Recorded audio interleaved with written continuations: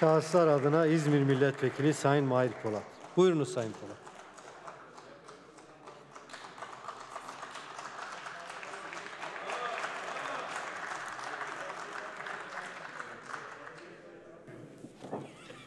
İzmir'i sel götürüyor. Hükümetimizin İzmir'e biraz daha yatırım yapmasını bekliyoruz. Ee, bekleyen projelerini yerine getirsinler. İzmir'e sel olduğunda yaklaşık 8 saat sonra e, Çevre ve Şehircilik Bakanlığı'ndan açıklama duyduk. Bunu da sizin takdirinize sunuyorum. Laf atarken biraz daha dikkatli atalım. Değerli arkadaşlar, bugün uluslararası anlaşmaları konuşuyoruz. Ben de bu uluslararası anlaşmalarla ilgili söz aldım. Karadağ'la yapılan se- serbest ticaret anlaşması ile ilgili e, konuşacağım. Bu serbest ticaret anlaşması ile ilgili bir revizyon söz konusu. Biz eğer bu revizyonu konuşuyorsak 2009 yılında bunu burada oylayan ve onaylayan Yüce Meclisimizin bu revizyon yetkisini bir tek adama vermemesinin sonucunda konuşuyoruz. Bugün verdiğimiz yetkilerle bundan sonra bu revizyonları görmeden geçirecekler. Değerli arkadaşlar buradaki revizyon bir menşe kümülasyon anlaşmasının değişmesi Pana Avrupa Akdeniz menşe kümülasyonuna geçişi sağlıyor. Bu olumlu bir yaklaşım. Bununla ilgili söyleyecek bir şeyimiz yok. Kabul oyu vereceğiz. Fakat serbest ticaret anlaşması ve tercihli ticaret anlaşmalarının ruhuna bakmak gerekiyor. Türkiye'nin kazanımlarını burada konuşmak gerekiyor. Örneğin bir taviz uygulayacaksanız hangi ürünlere uygulayacaksınız? Bunlar çok önemli. Mesela Türk çiftçisinin özellikle süt, süt ve süt ürünlerinin dünya pazarında dolaşımı ile ilgili yeterli e, tavizleri almamız gerekiyor. Özellikle yaptığımız bu anlaşmalarda çiftçimizi ve yerli üretimi korumamız hatta ihracatın önünü açmamız gerekiyorken maalesef biz tavizleri bu anlamda veriyoruz.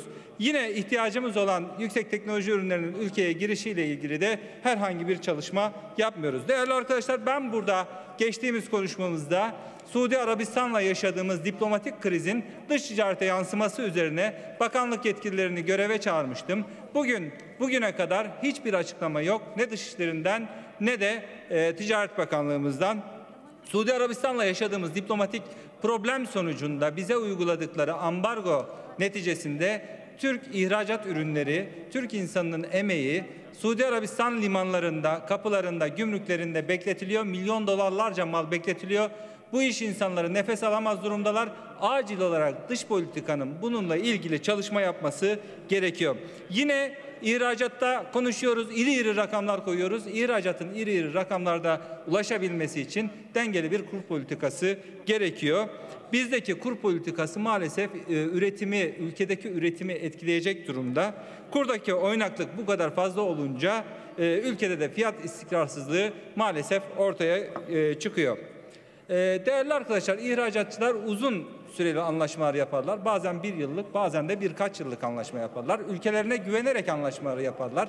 Ülkedeki kur rejiminin belli bir oranda arttığını bilirler.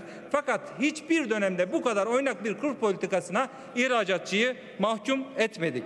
Yine dünya ticaretinde ticaret savaşları diyoruz, ticari rekabet diyoruz, küresel rekabet. Burada geldiğimiz nokta, kilitlendiğimiz nokta maalesef lojistik.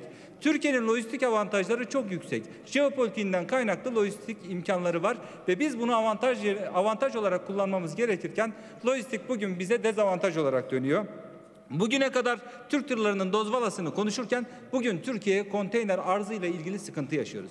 Ben buradan çağrı yaptım, bakanlık açıklama yaptı. Bir an evvel, bir an evvel e, konteyner arzının Türkiye'ye doğru yönlendirilmesi gerektiğini anlattığımız yerde bakanlığın yaptığı açıklama bakanımızın konteyner üretimi yapmamız gerekiyor. E, efendim göle su gelene kadar kurbanın gözü patlar. Siz bunları daha yıllar önce düşünmeniz gerekirken bugün şimdiden bugünden düşünüyorsunuz. Ya bu bugünün işi değil. Bu yarının ondan sonraki günün işi. Bugün Türk ihracatı e, maalesef gemiler yanaşmıyor, armatörler gelmiyor Türkiye'ye küresel ticaretin yüzde sekiz artacağı bir noktada siz malınızı uluslararası piyasaya çıkartamazsanız yaşayacağınız problem çok çok daha büyük problemler. Bugünden teşvik ederek ancak yarını kurabilirsiniz ama bugün için Özellikle armatörlerin Türkiye'ye gelmesiyle ilgili limanda kolaylaştırıcı, yükleme boşaltmada teşvik edici uygulamaları hayata geçirmezseniz daha biz birçok alanda olduğu gibi lojistik alanların alanında da kendi kalemize gol atmış oluruz diyorum. Genel kurulu saygıyla selamlıyorum.